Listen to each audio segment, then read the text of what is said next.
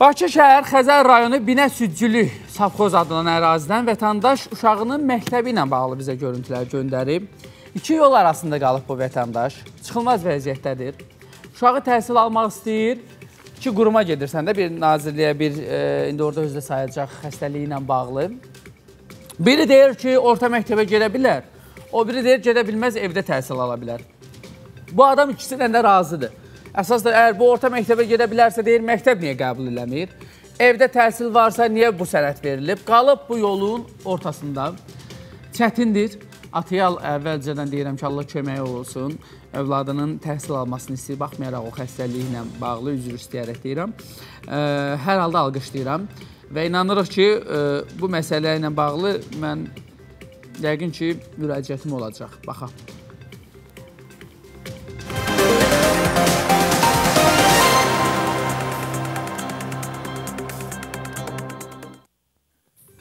Salam Amil müəllim, mən Feyziyev Qorxmaz, Feyziyev İsa'nın valideyni.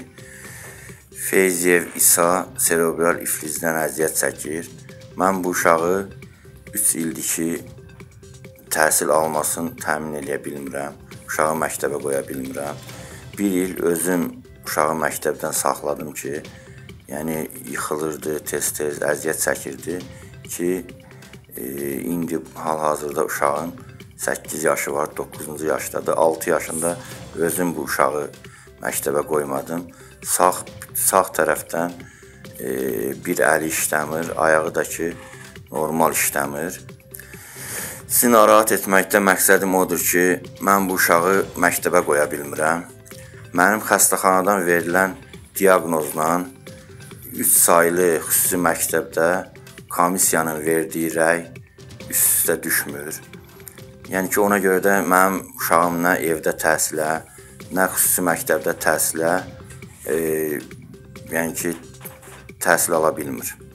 Uşağı yazmaq istəyirlər orta məktəbə. Mənim də uşağım əli işləmədiyi üçün, yəni özünü idarə eləyə bilmir.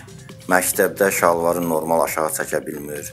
Yəni ki, normal özünü idarə eləyə bilmir də. Bu yəni ki, uşağa aid olan tələbatlar var, onu valideyn yanında olmadan etməlidir. Onları edə bilmir.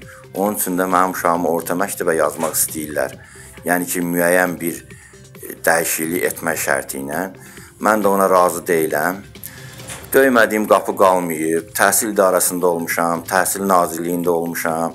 Təhsil Nazirliyinə birinci getdim. Dedilər ki, sən birinci Təhsil idarəsinə get, sonra Təhsil Nazirliyinə gedəsən. 2 aydır mən bu yollardayam, özüm də fəhlə adamam. Getdim deməli təhsil e, ida e, idarəsinə. Oradan dedilər ki, sən birinci getməlisən. Yox, birinci getdim Təhsil Nazirliyinə. Dedilər ki, Təhsil idarəsinə get, sonra işin alınmasa Təhsil Nazirliyinə müraciət edərsən. Təhsil Nazirliyində də oldum. Orada da mənə verilən cavab bu oldu ki, biz komissiyanın rəyini dəyişə bilmirik. Sən bu işi məhkəmə e, yəni ki, məhkəmə ilə həll edə bilərsən.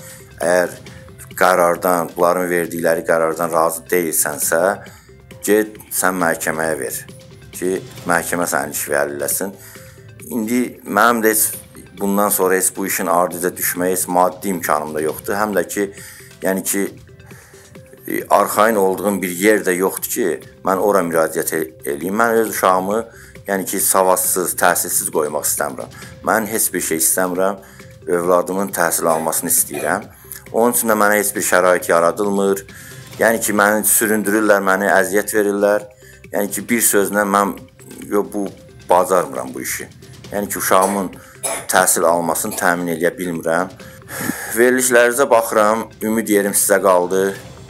Sizə müraciət elədim ki, sizdən xahiş edirəm ki, bu işdə mənə bir köməklik eləyəsiniz ki, gedib işləyirəm, evə gələndə övladımla mənə deyir ki, nə oldu, necə olacaq? Mən də təhsil almaq istəyirəm, mən də məktəbə getmək istəyirəm.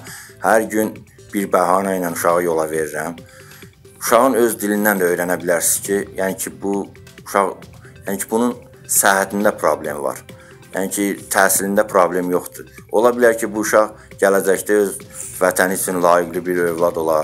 Yəni ki bizim dövlətimiz də bunun savadından nədənsə yararlana bilər. Yəni ki mən o Təhsil Nazirliyində də oldum da. Yəni ki var gücümlə çalışdım ki, uşağımı bir məktəbə bir yerə yerləşdirim.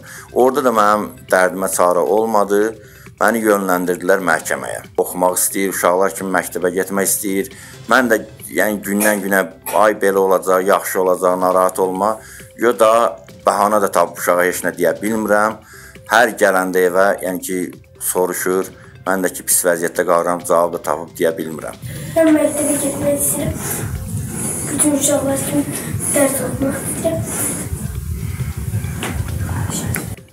Sənədləri də hamısı göz qabağındadır, çəkib onları da sizə atacağam. Ümumiyyətlə nə sənəd deyiblər, onların hamısını hazırlayıb getmişəm 3 saylı qara evdə olan xüsusi məktəbə. Oradan da ki belə, yəni ki indiyə qədər də bu iş öz həllini tapmır. Əminəm ki, siz bu işi yəni ki e, belə qoymazsınız, ictimailəşdirib inşallah Allahın köməkliyi ilə bir nəticə əldə edərik inşallah. Bakıda 100 illik kitabxananı sürgün etmək istədilər. Məkanın yarım əsrli işçiləri buna qarşı çıxdılar.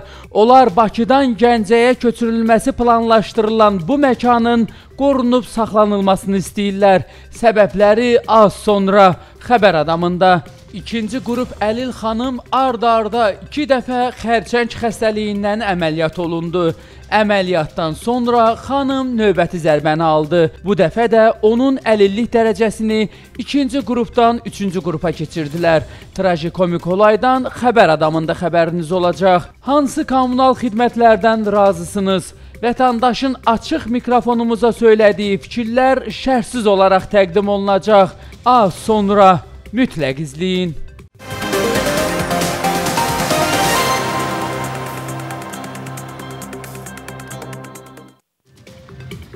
Çox çətin, Allah köməyi olsun. E, deyə başına gəlməyən anlamaz e, başına gələn insanın nələr yaşadığını.